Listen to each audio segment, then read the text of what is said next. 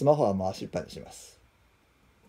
ほら来て来て来て来て来て来て来て来て来て来て来て来て来て来て来て来て来て見てる見てるお茶ももうやべえライバル最強のライバル来たでもう食わなあかんっつって何みんな知らんとこで食べてつっておお怒りながらも食べてでそら豆がちょっとね夫婦なんでねこの2匹は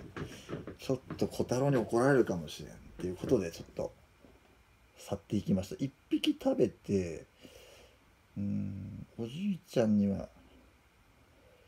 コオロギのが慣れてるからな。ゴマちゃんと同じ水槽にちょっとだけ入れるか強化したぐらい。うん小太郎食べたしもう止めようかな。